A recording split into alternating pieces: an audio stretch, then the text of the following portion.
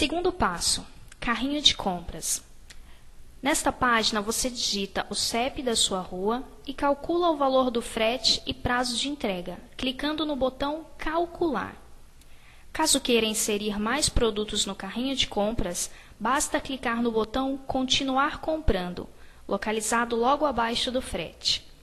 Nesta mesma página, você pode alterar o produto que quer comprar, excluindo, clicando no botão em forma de X localizado ao lado do produto.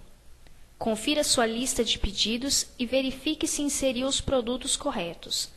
Feito isso, clique no botão verde Finalizar compra. Agora, o próximo passo é efetuar seu cadastro.